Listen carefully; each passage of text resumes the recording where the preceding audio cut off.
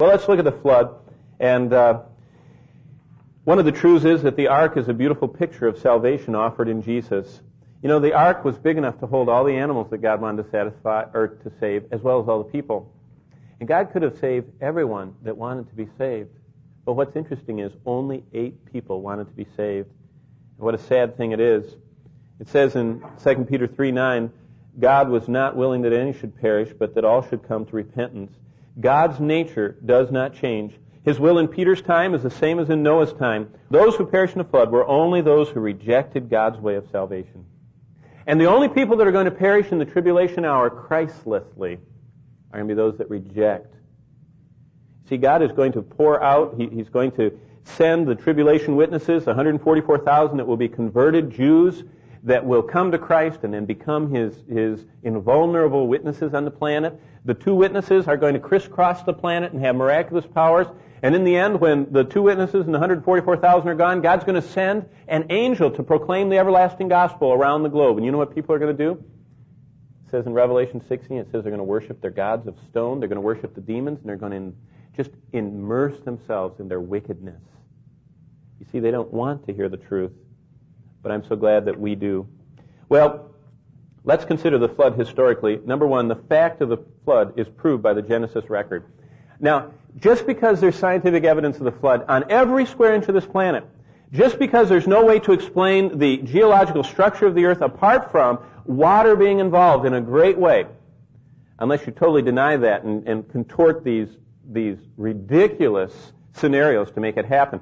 But if you don't, if you just look as a normal person with a reasoning eye, there's no way to explain the geology of this planet without a lot of water being involved. But that's not why I believe in the flood. And I was talking with someone after the morning service. The fact of the flood is proven by the scriptures, not by science. It's not empirical. It's not observable. It's not scientifically provable or, or discernible things that make me believe in the flood. And you can't prove to a skeptic or an unbeliever the flood other than by telling them that the Word of God says it. And God says if anyone's willing to know His will, He'll know it. But you have to be willing. There has to be that. Without faith, it's impossible to please God. You can't come to God without faith. And so I want to remind you that all these things that I tell you, if you have some unsaved or skeptical or agnostic or, or whatever friend, and, and you say, let me give them all the facts, you know what? They will still be a skeptical, agnostic, unbelieving friend with all the facts, without the intervention of faith and without God intervening supernaturally in their life because it's not facts, it's the truth that is believed. Well, Christ taught about the literal flood. I already read that to you, and you can write that down in Matthew 24, 37 to 39. Another reference to put by Christ believed in the flood is Luke 17, 26. This is what Jesus said when he was preaching. Luke 17 and verse 26. As it was in the days of Noah, so it will be in the days of the Son of Man. You see, he didn't, he didn't even try and prove Noah. He said Noah existed. Noah's era existed. The, the wickedness of the world existed. And the wrath of God was, was dumped upon the world at that time. He didn't have to prove it. He believed it.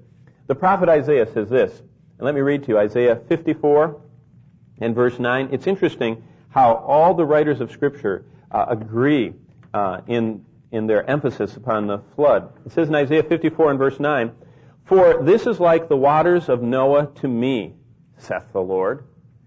Isaiah is recording God talking, the infinite God who is truthful and makes no error. And God said, For this is like the waters of Noah to me. For I have sworn that the waters of Noah would no longer cover the earth. Not the delta of the Tigris and Euphrates. Not the Fertile Crescent. The entire planet. You say, wait a minute. How could the waters, in fact, I've heard all kinds of, you know, interesting stories like, how could all those animals exist at 35,000 feet if the waters were higher than the tallest mountain, as in, you know, Everest or if there was a taller one back then? Well, let me ask you this. Can a boat that's on a global ocean ever be higher than sea level? It wasn't at 36,000 feet. It was at sea level. It was everything else was undersea. You know, the tallest mountain in the world is actually Mauna Loa if you know anything about Hawaii, it starts two miles back at the bottom seafloor and goes another few miles above the sea. But if the whole thing's covered with water, then the top of Mauna Loa is sea level if there's a flood. Uh, lots of other stuff like that. And, and the Bible, though, explains that. It says in Psalm 104 that after the flood, God raised the mountains.